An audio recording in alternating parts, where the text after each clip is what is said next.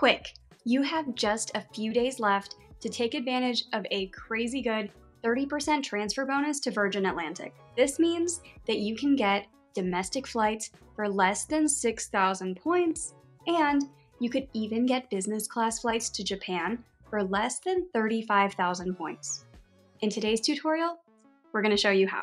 Hello, my name is Julia. I am the founder of GeoBreeze Travel, and I personally got about $100,000 worth of travel last year for approximately 90% off by using points and miles. And we typically save our clients more than $30,000 in travel in the first six months of working with our team. And we want to provide you with a clear path to luxury travel with these step by step tutorials as well. Viewer suggested topics for these tutorial videos are always welcome, so let us know in the comments if there is a topic that you would like covered. Also, if you are listening to the audio only version of this, I recommend checking out the GeoBreeze Travel YouTube channel for the full video walkthrough experience as well. Okay, so let's jump right in with how to get some crazy good deals with the Virgin Atlantic transfer bonus.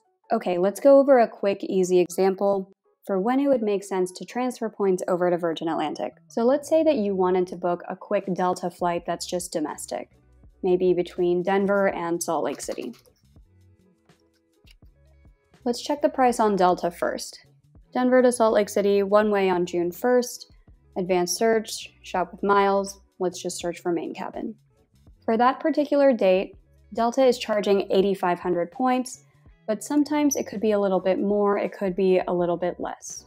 There are some days where it's as low as 6,500 and some days where it's more like 11,000 or 10,000 points to fly between Denver and Salt Lake City. Let's compare that with Virgin Atlantic. So on virginatlantic.com, you would click on reward flights, you'll click on one way, search for the exact same route from Denver over to Salt Lake on June 1st, and then all cabins is fine here. Let's go ahead and click on search. And here they have a price calendar as well, which is pretty handy. You'll see that it's a standard price everywhere with Virgin Atlantic of 7,500 points, versus with Delta, it might be a little bit more, it might be a little bit less. So if you're looking for the lowest points price for the same exact flight, I would recommend checking both Delta and Virgin Atlantic. Keep in mind, not all points will transfer to Delta, it's just Amex. So if you mostly have Chase or Capital One points and you're like, I really want to fly this Delta flight, but I don't have any points with Delta and can't transfer over, you can still transfer points over to Virgin Atlantic and book that exact same Delta flight here.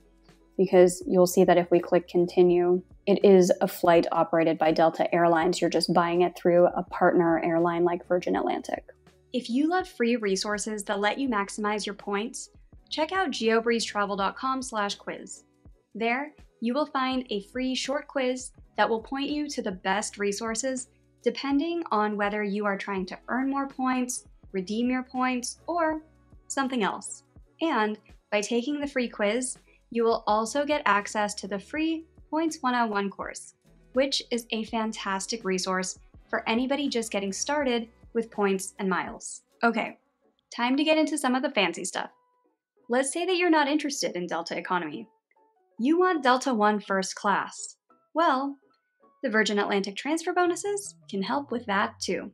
So, if you would prefer not to fly Delta Economy and you're like, I want the fancy Delta flights, how do I get on Delta One? Here's a trick for how you can do that with Virgin Atlantic for pretty cheap as well. So, on seats.aero, they have this tools section, and if you click on that, go ahead and click on Delta One Finder. I suggest having the pro version so you can see a full year of availability. And as an additional pro tip, it is not very easy to find flights from North America over to Europe. There's only a few different options here when we search this way.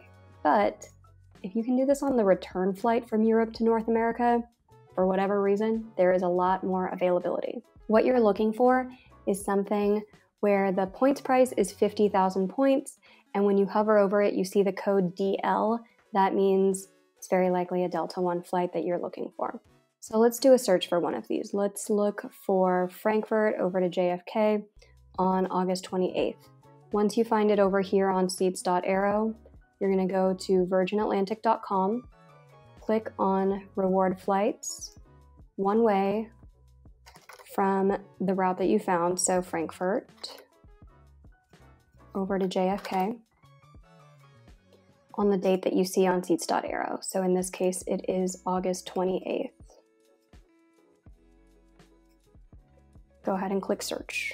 And then from here, just go ahead and click continue, scroll down, and you'll see that it is the direct flight from Frankfurt over to JFK for 50,000 points, plus about 300 euro in taxes and fees. And when you click on details, you can confirm that it is a Delta One plane. And that is a very good deal for Delta One, because here's how much it would cost if you tried to book this same flight with Delta directly. So if we go to delta.com and we type in this exact same search from Frankfurt over to JFK, one way on August 28th for one passenger, checkbox shop with miles. You can say your dates are flexible, and then under advanced search, select that you want to go Delta 1. Take a guess at how much this is going to cost, remembering that on Virgin Atlantic it is only 50,000 points. Go ahead and click search. Ooh, it is 280,000 points. Same taxes and fees though. But if you click continue, you can confirm this is the Delta 1 suite and it should be the exact same flight 11:50 a.m. It's direct flight DL 107 and here we go. Remember, you can get the 30% bonus when transferring either American Express or Chase points over to Virgin Atlantic. The Amex transfer bonus ends on May 31st, and the Chase transfer bonus ends on June 15, 2024. If you are in the market for a new card so that you can earn these types of points too, but you're not sure what card to get, check out our free credit card consultation form at geobreezetravel.com slash consultations.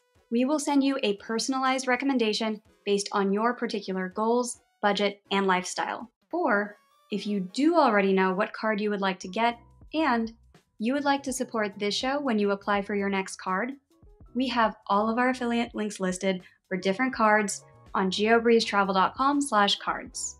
But before you move any point over, let's go over some common pitfalls that people run into when doing these types of transfers and how you can avoid the same technical issues. Quick warning though about Seats.aero and Virgin Atlantic. I've been doing a lot of searches for people with this just because of the transfer bonus that's been going on lately, and there has been a bit of phantom availability that we've been seeing. So before you move over any points with Virgin Atlantic, it's always good to cross check. For example, let's say that you want to find a cheap domestic flight out of Minneapolis and you're seeing this one over to St. Louis at the end of the month for 7,500 points, which looks great. So before you move over any points, it's always good to actually check on virginatlantic.com reward flights one way from MSP over to St. Louis at the end of May on the 27th over here click one person and search. And it looks like no reward flights are available for that search, even though it is showing up on seats.aero because this showed up 29 days ago. I'm not sure why it's still in their cache, but if you do see something like that, it's very likely that it doesn't actually exist anymore. So please always check the award flights on Virgin Atlantic before you move any points over. Another tool that you can use for this is the Virgin Atlantic Reward Seat Checker, where you can search for flights operated by Virgin Atlantic or Delta Airlines.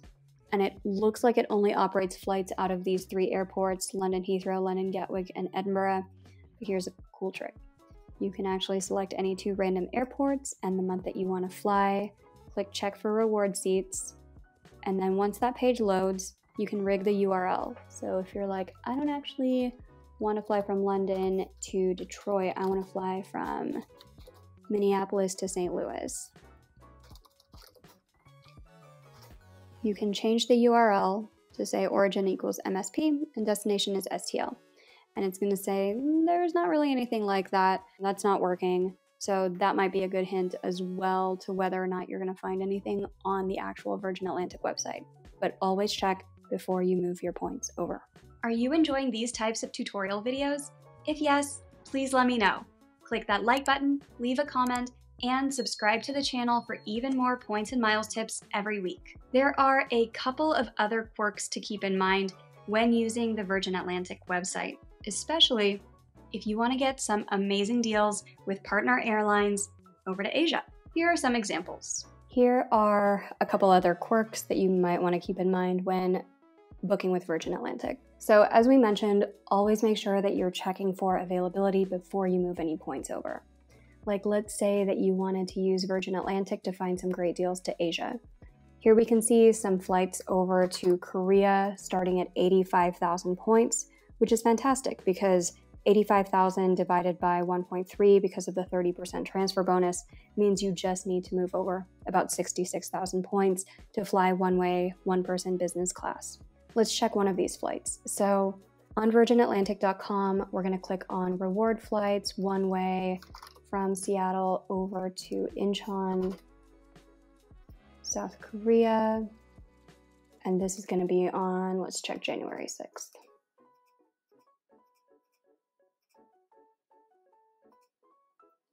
Search one person. And here we will click continue. But it looks like they're sold out of all of the business class flights for this particular route. Seats.aero says this was found four days ago, so it has been sold in the meantime because there was only one seat available. But let's check this one from Vancouver, which is pretty close to Seattle, and it was found just a day ago, so we might have better luck with this. So let's go back to the Virgin Atlantic homepage and then search from Vancouver over to Incheon. And sometimes it's not going to autocomplete for whatever reason, which is slightly annoying. So what you do is click on full airport list, and then you need to find the country that this is in. So this is in South Korea. And then find the airport, which is in Seoul. Slightly annoying, but not the end of the world. This is going to be on January 27. One passenger and under advanced search, we want to do points and we want to search for upper class. Go ahead and click go. All right, so here we have the results where we do see Vancouver over to Korea, operated by Korean Air in business class. There's two seats left, which is great because most of the time, whenever there's a code share with Korean Air, they're only releasing one seat at a time. But for this particular one, there are two seats, and sometimes you can get lucky and find more of them, but these tend to be code share with Air France instead of Korean. And next, we will cover an even better way to fly business class to Asia using Virgin Atlantic. Our last walkthrough covers the sweetest sweet spot of all, which is how you can get a business class flight to Japan for less than 35,000 points per person. That is coming up next. And if you are interested in leveling up your points and miles game, and maximizing your points too, we have a couple of options for you. The first one is the GeoBreeze Travel Patreon, which you can join starting at just $5 through patreon.com slash geobreezetravel. Each month, we prepare personalized step-by-step tutorials for the routes that our members request. We also provide open forum group coaching, where you can ask any questions that you have about points, miles, and credit cards in general and sometimes we talk through some of the tricks that don't get mentioned on social media. And if you are looking to get even more free travel with points, and you are a business owner or individual who spends more than $100,000 per year on expenses, check out our one on one points portfolio management service. We typically save our clients 30,000 to $60,000 in travel in the first 6 to 12 months of working with our team. If that sounds like something that you would be interested in, book a free intro chat with us at geobreezetravel.com slash intro call to learn more. Okay, let's walk through one of the most aspirational ways to leverage this Virgin Atlantic transfer bonus. All right, and the last example we're going to go through, we've covered on the channel before, but it's a fan favorite for probably the best way, or at least the cheapest way, to get to Asia in business class for the least amount of points. So that would be using Virgin Atlantic to fly ANA business class for about 45,000 points per person one way, or with this transfer bonus that's currently active, you only need to move over 35,000 points because 35,000 times 1.3 is going to be more than the 45,000 you need per ticket, which is a fantastic deal. Here's how you find it. So go to seats.aero, click on the search tab, and then search from the USA to either Narita or Haneda and you are much more likely to find these deals as last minute flights rather than further out in the calendar. I just said June 1st plus or minus 28 days. And I'm just searching for one person at a time. And you want to make sure the operating carrier is NH. That is the code for ANA. Sort by business class lowest. And I think you're going to have a lot more luck if you are looking for the direct flights. It doesn't have to be direct, but you'll have more luck that way.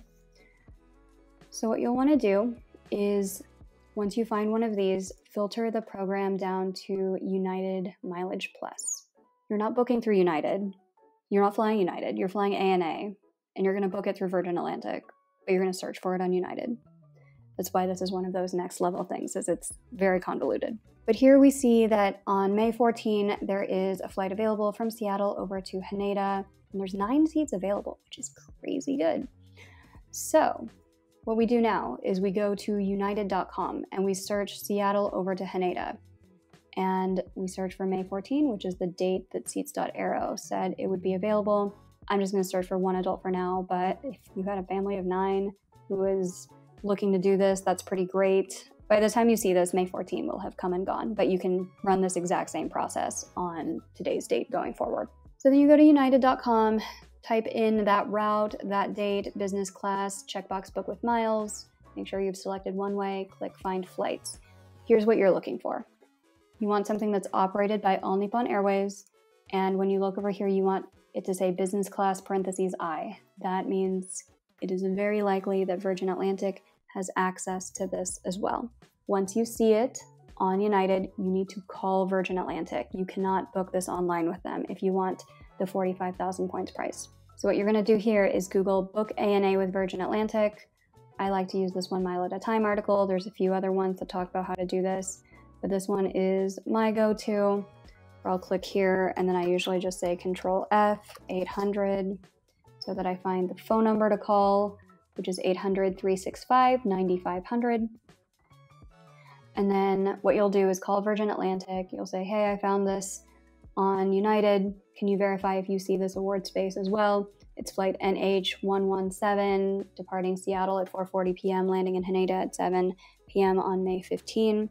If they say yes, then you can do your transfer over to Virgin Atlantic over the phone and they can book it for you via phone right then and there.